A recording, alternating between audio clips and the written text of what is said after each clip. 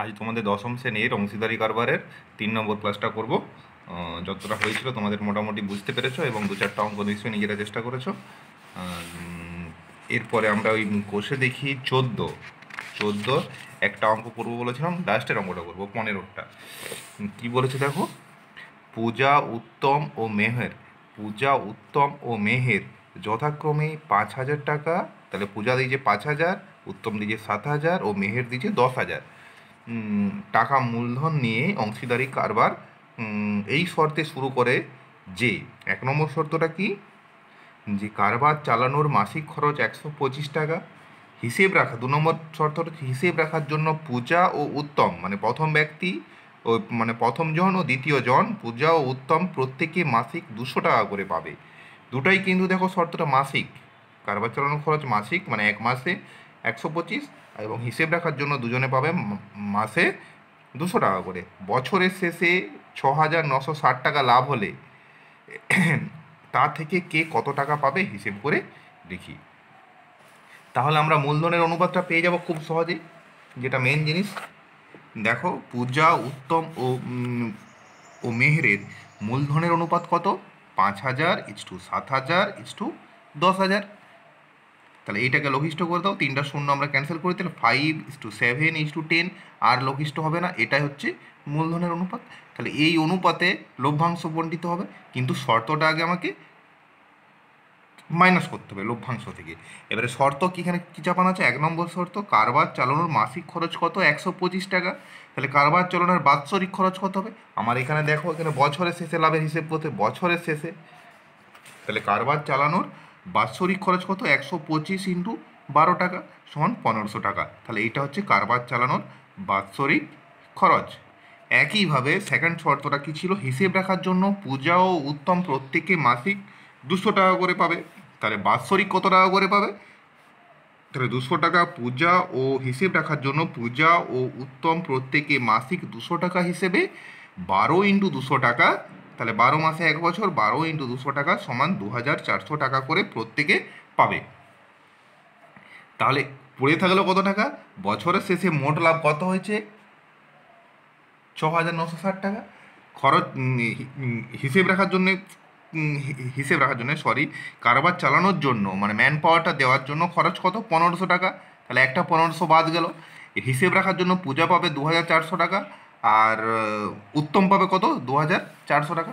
তাহলে মোট ছ হাজার নশো টাকা, নশো ষাট টাকা লাভ হয়েছে। সেখান থেকে পনেরোশো টাকা একটা খরচ হচ্ছে। কারবার চালানোর জন্য, চব্বিশশো টাকা পূজা নিচ্ছে হিসেব রাখার জন্য, আরও চব্বিশশো টাকা উত্তম নিচ্ছে হিসেব রাখার জন্য। তাহলে পড়ে থাকছে কত? তাহলে ছ হাজার নশো মাইনাস পনেরোশো মাইনাস চব্বিশশো মাইনাস চব্বিশশো সমান ছ হাজার ছশো ষাট টাকা। এই মাইনাসটা একটু নিজেরা করে নেবে। ছ হাজার ছশো ষাট টাকা পড়ে থাকছে। তাহলে এই টাকাটা এই টাকাটা তোমার কি অনুপাতে ভাগ হবে? মূলধনের অনুপাতে, অর্থাৎ five is to seven is to ten অনুপাতে ভাগ হবে। তাহলে এই সুতরাং ছ হাজার ছশো টাকা তিনজনের মধ্যে মূলধনের অনুপাতে ভাগ হবে। ভাগ করে দাও, সহজ। তাহলে পূজা মোট কত পাবে টাকা? পূজা পাবে দু হাজার চারশো টাকা। ও পাচ্ছে হিসেব রাখার জন্য অলরেডি পেয়ে গেছে। তাহলে সেইটা যুক্ত। পূজার অনুপাত কত? পাঁচ। মোট অনুপাত কত? পাঁচ সাথে বারো আর দশে হচ্ছে বাইশ। তাহলে এই পাঁচের বাইশ ইন্টু ছশো ষাট টাকা। তাহলে বাইশ তিনে ছেষট্টি, একটা শূন্য থাকছে। তাহলে কত হচ্ছে? পাঁচ ইন্টু তিরিশ মানে দেড়শো টাকা সমান চব্বিশশো প্লাস দেড়শো টাকা সমান দু হাজার পাঁচশো পঞ্চাশ টাকা। তাহলে পুজো মূলধনের অনুপাতে দেড়শো টাকা পাচ্ছে আর চব্বিশশো টাকা হিসেব রাখার জন্য পাচ্ছে। একইভাবে উত্তম, উত্তমও চব্বিশশো টাকা হিসেব রাখার জন্য পেয়ে যাবে। এরপরে উত্তমের অনুপাতটা হচ্ছে সাত, তাহলে সাতের বাইশ ইন্টু ছশো ষাট। তাহলে কত হচ্ছে? তিরিশ দিয়ে কেটে যাচ্ছে, সাত তিনে একুশ, দুশো দশ টাকা। তাহলে উত্তম মোট কত পাবে? দু হাজার ছশো দশ টাকা। ওকে? মেহের কত পাবে? মেহের তো দেখো, ওই কাজের জন্য কোনো টাকা নয়, অর্থাৎ হিসেব রাখার জন্য বা ইত্যাদি এইসব জন্য কোনো টাকা পাচ্ছে না। এক নম্বর যে কারবার চালানোর জন্য মাসিক ওটা কোনো অন্য কোনো লোককে রেখেছে নিশ্চয়ই? এই যে একশো পঁচিশ টাকা হিসাবে দেড় হাজার টাকা, এটা অন্য কোনো চতুর্থ ব্যক্তি আছে, সে পাচ্ছে। মেহের কত পাচ্ছে? মেহের দেখো, এখানে এরা যেহেতু এদের জন্য চব্বিশ তো চব্বিশ ছিল তাই এটা আমি জিরো দিয়েছি, তুমি দিতেও পারো, নাও পারো। তাহলে ওই ছশো ষাট টাকার ও আনুপাতিক হারে পেয়ে যাবে। তাছাড়াও আর কিছু পাচ্ছে না। তাহলে দশের বাইশ ইন্টু ছশো ষাট, তাহলে বাইশ তিরিশে ছশো ষাট, তিনশো টাকা। তাহলে মেহের পাচ্ছে তিনশো টাকা। বেশ অঙ্কটা হয়ে গেল। দেখো খুব একটা জটিলও নয়, সহজ আছে। এরপরে তোমাদের এই সতেরোর দাগের সেকেন্ড ক্লাসে দেখো সতেরোর দাগের আমি একের অঙ্কটা করেছিলাম। এবারে দুই, তিন, পাঁচ বাকি আছে। এগুলো আমি দুই, তিন, চার, পাঁচ এগুলো করে দেবো। দেখো সতেরোর দাগের দুয়েরটা সতেরোর দাগের দুয়েরটা কী বলেছে? যে একটি অংশীদারি ব্যবসায় পৃথা ও রাবেয়ার মূলধনের অনুপাত টু ইস টু থ্রি এবং রাবেয়া ও জ্যাসমিনের মূলধন অনুপাত কত? ফোর ইস টু ফাইভ ফলে পৃথা, রাবেয়া ও জেসমিনের মূলধনের অনুপাত হিসেব করে লিখি। মানে দুজন দুজনের করে আলাদা করে দেওয়া আছে। এবার তিনজনের একসাথে তোমায় কম্প্যাক্ট করতে হবে এটা। এটা ক্লাস এইটাও ছিল তোমাদের এরকম অঙ্ক। দেখো, পৃথা ইস টু রাবেয়া সমান কত? টু ইস টু থ্রি আবার রাবেয়া ইস টু জ্যাসমিন সমান কত? ফোর ইস টু ফাইভ দেখো, এই যে এই দুটো নাম একই আছে। এই দুটো তো একই। তাহলে এই দুটো অনুপাতকে আমি একই করব। কত আছে? এখানে তিন আছে আর এখানে কত আছে? চার। এই তিন আর চারের সাধারণ গুণিতক নিয়ে নাও। কত? বারো। নিকটতম সাধারণ গুণিতক কত? বারো। তাহলে এই তিনকে চার দিয়ে গুণ করব। অর্থাৎ শুধু তিনকে তো গুণ করলে হবে না, আমাকে এই দুইকেও গুণ করতে হবে চার। মানে একে যত দিয়ে গুণ করব, থাক পূর্বপদকে ঠিক তত দিয়ে গুণ করব। তাহলে এইটা আমার আসছে কত? আমার যদি টু যদি ফোর দিয়ে গুণ করতে হয়, তাহলে তিনকে যদি চার দিয়ে গুণ করতে হয়, তাহলে একেও ফোর দিয়ে গুণ করতে হবে। তাহলে স্বাভাবিকভাবে আমি এটা পাচ্ছি। একইভাবে এটাও যদি তিন দিয়ে গুণ করতে হয়, এটাকেও তিন দিয়ে গুণ করতে হবে। বারোতে যেতে হলে তাহলে চার তিনে বারো, পাঁচ তিনে পনেরো। এটা আর ভাঙছি না, এইভাবে পেলাম। তাহলে কত? এই টু ইস টু থ্রি মানে এইট ইস টু টুয়েলভ আবার ফোর ইস টু ফাইভ মানেই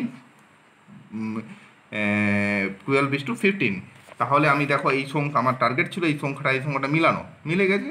এবার আমি লিখতে পারি, অতএব Pritha is to Rabeya is to Jesmin সমান eight is to twelve is to fifteen okay এরপরে আমরা তিনের অঙ্কটা আসি। তিনের অঙ্কটা দেখো কি বলেছে? দুজনের একটি অংশীদারি ব্যবসায় মোট লাভ পনেরোশো টাকা, রাজীবের মূলধন, মোট লাভ পনেরোশো টাকা। রাজীবের মূলধন, দুজনের মধ্যে একজন হচ্ছে রাজীব। রাজীবের মূলধন ছ হাজার টাকা এবং লাভ নশো টাকা হলে আফতাবের মূলধন কত? হিসেব করি কত? তাহলে আফতাবটা হচ্ছে দ্বিতীয় ব্যক্তি, তাহলে দুটো লোক, একটা হচ্ছে রাজীব, একটা হচ্ছে আফতাব। রাজীবের মূলধন হচ্ছে ছ হাজার টাকা এবং লাভ হচ্ছে নশো টাকা। তাহলে দ্বিতীয় ব্যক্তির লাভটা আমি পেয়ে যাব। অর্থাৎ আফতাবের লাভ কত হবে? পনেরোশো বিযুক্ত, মোট লাভ বিযুক্ত রাজীবের লাভ। তাহলে পনেরোশো বিযুক্ত নশো মানে ছশো টাকা। তাহলে আর আর আফতাবের মূলধনটা হিসেব করতে বলছে, ওটা ধরে নিই। তাহলে ধরি আফতাবের মূলধন হচ্ছে, ধরি আফতাবের মূলধন হচ্ছে এক্স টাকা, ধরে নেওয়া হয়েছে। আফতাবের লাভ কত হয়েছে? মোট লাভ মাইনাস রাজীবের লাভ, মোট লাভ পনেরোশো, আর রাজীব নশো করেছে। তাহলে কত হচ্ছে ওর? এটা মাইনাস করলে ছশো টাকা। এবারে আমরা একটা এটাকে সমানুপাত তৈরি করতে পারি। দেখো, রাজীবের মূলধন ইস্টু আফতাবের মূলধন। যেহেতু মূলধনের অনুপাতেই তো লভ্যাংশ ভাগ হয় তাহলে এটা নিশ্চয়ই রাজীবের লাভ আর আফতাবের লাভের সাথে সমানুপাতে থাকবে। তাহলে রাজীবের মূলধন ইস্টু আফতাবের মূলধন সমানুপাত, রাজীবের লাভ ইস্টু আফতাবের লাভ। কত হচ্ছে? তাহলে রাজীবের মূলধন ছ হাজার আর আফতাবের মূলধন কত? এক্স ধরে নিয়েছি। রাজীবের লাভ নশো আর আফতাবের লাভ ছশো। তাহলে এই এক্সটা হচ্ছে অজানা, এটাই আমার দরকার, এটা হচ্ছে দ্বিতীয় পদ, আমরা জানি কোনো সমান পদের দ্বিতীয় পদ সমান কি? প্রথম গুণিত চতুর্থ বাই তৃতীয়, অতএব এক্স সমান ছ হাজার গুণিত ছশো বাই নশো ওকে তাহলে আমি এই দুটো শূন্য শূন্য কেটে দিলাম, এবার দেখো, নিজেরা পারবে, তিন দুগুণে ছয়, তিন তিরিকে নয়, আর তিনকে ছ হাজার দিয়ে কাটলে দু হাজার হচ্ছে, তাহলে দুই দু হাজার গুণিত দুই সমান চার হাজার টাকা। অতএব আফতাবের মূলধন হলো চার হাজার টাকা। এরপরে চারেরটা চলে আসি।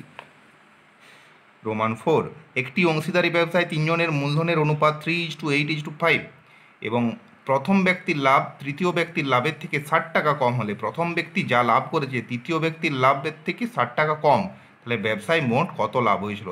তিনজন আছে এখানে থ্রি তাদের মূলধনের অনুপাত দিয়েছে three is to eight is to five তাহলে ধরি ব্যবসায় মোট লাভ হচ্ছে এক্স টাকা। যেটা বের করতে পারব আমি সেটা ধরে নিলাম। মোট লাভ হচ্ছে এক্স টাকা। তিনজন, তিনজনের মূলধনের অনুপাত দেওয়া আছে three is to eight is to five লিখে দিচ্ছি। প্রথমজন পাবে কত?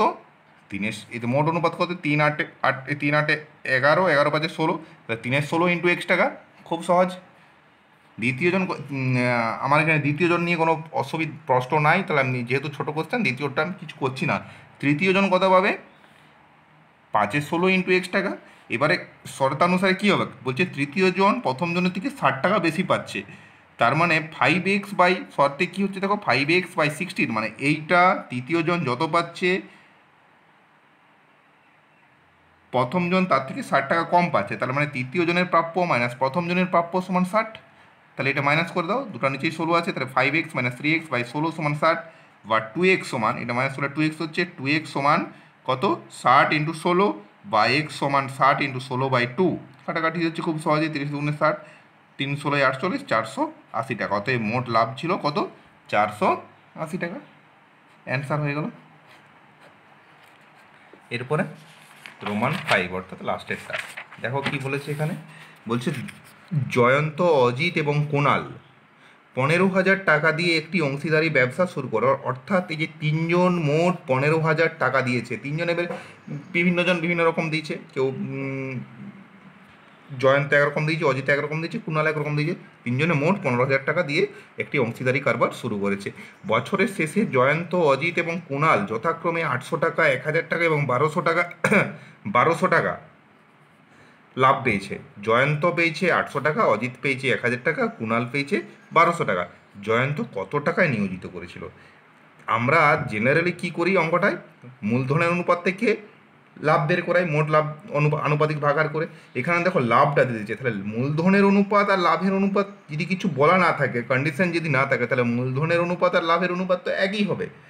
কারণ মূলধনের অনুপাতে তো লভ্যাংশ বণ্টিত হয়েছে, যদি কিছু বলা না থাকে সেটা আমরা ধরে নেব। তাহলে উল্টা দিক থেকে আমরা বলতে পারি লভ্যাংশের যে অনুপাত, সেটাই হবে মূলধনের অনুপাত। তাহলে মোট মূলধন দেওয়া আছে, আমরা লভ্যাংশের অনুপাতটাকে মূলধনের অনুপাত দিয়ে ইন্ডিভিজুয়ালি আমরা মূলধনটা পেয়ে যাব। তাহলে জয়ন্ত, অজিত এবং কুণালের লাভের অনুপাত কত?